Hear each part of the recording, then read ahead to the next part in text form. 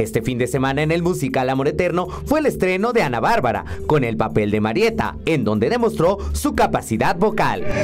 Sin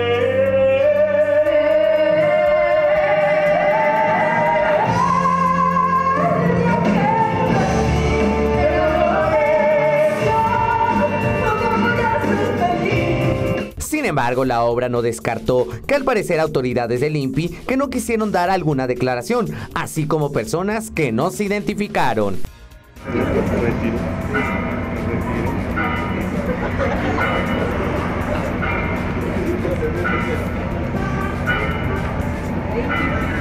La, el INPI, ¿ustedes tienen que ver algo con ellos?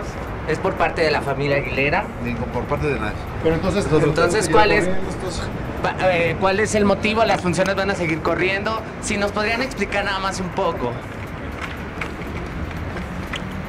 Asimismo, Ana Bárbara y el productor Omar Suárez agradecieron al público presente el haberse presentado ante el escándalo. Ya habíamos tenido la función pasada el domingo, que fue nuestra primera función, y que bueno, pues yo me siento muy orgulloso del ensamble, de nuestros músicos, de nuestro director, de todos los creativos que conforman esta compañía.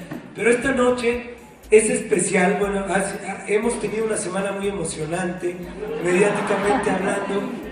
Eh, Este es un proyecto que, que tiene mucha necesidad de existir y de que lo conozca la gente. No podría hacerlo sin ustedes, con grandes maestros, pero sobre todo hay grandes compañeros que están brutos, son, me han aguantado porque no es fácil. Llego y corro y choqué como cinco veces ahorita, pero este, no hay ningún herido, ¿verdad? Todos están bien. Muchas gracias, que Dios los bendiga a la banda, al grupo, todos mis compañeros de toda la vida. Eh, unos que conozco de hace muchos años, desde que estamos chiquitos, y otros que conocí hoy, hoy en la mañana, y qué hermosos, así es que muchas gracias, un aplauso para ellos, por favor, porque han sido... Por último, Ana Bárbara no quiso hablar con la prensa a su salida. Unos minutos, Ana. Ana, regálanos unos minutos. Por favor, Ana. Ana, cinco minutos. Solo queremos saber cómo te fue en este estreno, Ana Bárbara. Regálanos unos minutos. Ana.